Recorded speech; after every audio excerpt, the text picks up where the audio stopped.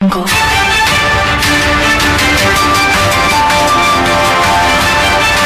शक्ति केंद्र मोदी पर चलाया महाजन संपर्क अभियान। सुसनेर शनिवार को शक्ति केंद्र मोदी के बुथ तिरासी पर भाजपा कार्यकर्ताओं के द्वारा महाजन संपर्क अभियान चलाया गया, जिसमें शक्ति केंद्र प्रभारी मांगीलाल सोनी द्वारा बुथ तिरासी के अंतर्गत आने वाले बागरी का खेड़ा सोयत रोड स्थित आवास कॉलोनी पर मतदाताओं के घर घर पहुंचकर भाजपा सरकार की उपलब्धियाँ बताई और साथ में घर घर पीले चावल देकर भाजपा को वोट देने की अपील की गई इस अवसर आरोप शक्ति केंद्र सह संयोजक भेरूलाल मीना बुथ तिरासी के अध्यक्ष कैलाश चंद्र परमार लाल सिंह भिलाला मुकेश परमार सहित कार्यकर्तागण उपस्थित रहे। राजेश भावसार दैनिक पीथ्यान पत्रिका रिपोर्टर सोवियत कलाम।